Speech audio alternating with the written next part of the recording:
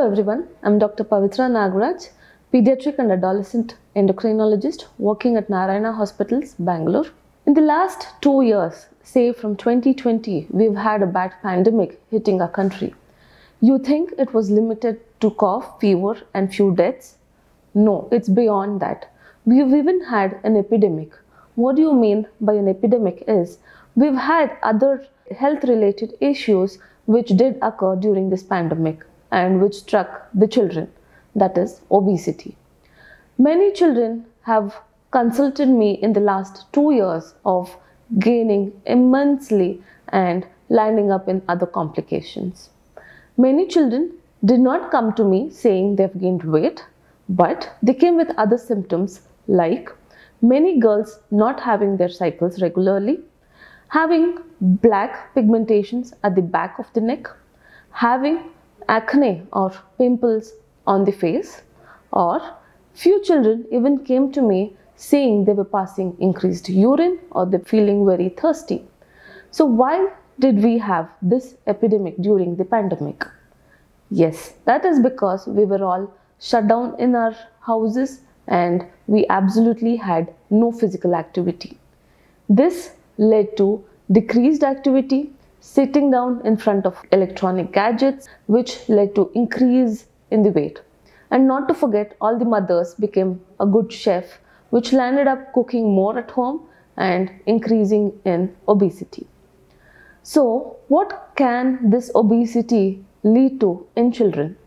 The most common complication of obesity is insulin resistance.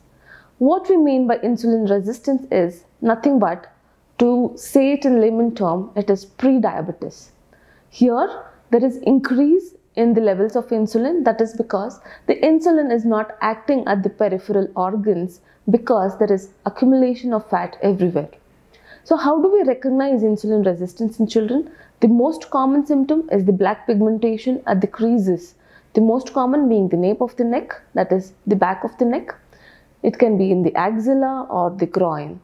So this is the first sign there is insulin resistance. So the parents might be thinking that the children have grown and they're taking bath by their own and that is why there is black pigmentation. No, it's not because of not taking bath properly, but it is because of insulin resistance. The second point or the symptom of insulin resistance can be irregular cycles in girls leading to PCOS, that is polycystic ovarian syndrome. PCOS itself is a huge entity and there are n number of causes for PCOS.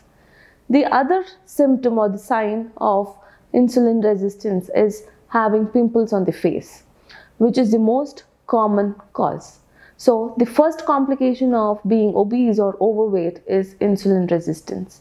The other causes or the side effects of obesity is dyslipidemia, that is, having high cholesterols in the body.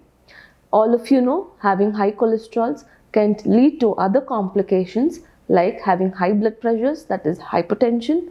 Second, can lead to increased number of cardiac issues like even coronary artery diseases. So, isn't it scary for all of you? Yes, having insulin resistance that is pre-diabetes and high cholesterol levels can again lead to deadly complications in a child. The other most deadly complication of being obese is type 2 diabetes. You may not have any symptoms initially of say insulin resistance and you must have missed them and the child lands up in type 2 diabetes who have symptoms like polyuria that is increased urine, polydipsia having increased thirst and increased appetite that is eating more. So what led to obesity? It's you think it is just not having physical activity? No, there is much more beyond just sitting idle. One, yes, we were all locked down inside the houses and which led to decreased physical activity is one most common. But the second most common cause for obesity was sitting in front of the gadgets. I agree, all the schools had online classes, but we could have made some efforts with children having few exercises or say even walking, skipping, yoga at home within the four walls. The third thing is eating in front of the gadgets.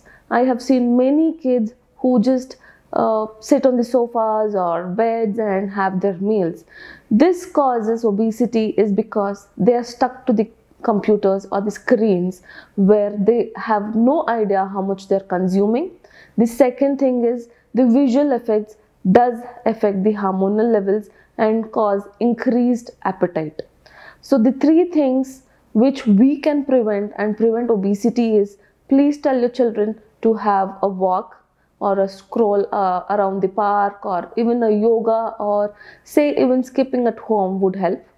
The second thing, don't stick onto your screens. Now that the schools have opened, even if the schools haven't opened, I think we can afford to have some physical activity and reduce the screen time. Many parents tell that they have to sit in front of the computers to write down the notes. Why can't we take printouts just for a couple of days or months and let them copy from that? The third thing, avoid eating in front of the gadgets. The olden days, we used to sit on the floor and we used to have our food. I think we need to get back to those days where we either sit on the floor or a proper chair with the gadgets switched off and have our meals. So I request all the parents to make an effort to prevent obesity, prevent type 2 diabetes and also we can avoid our nation to be called as the capital of diabetes. Thank you.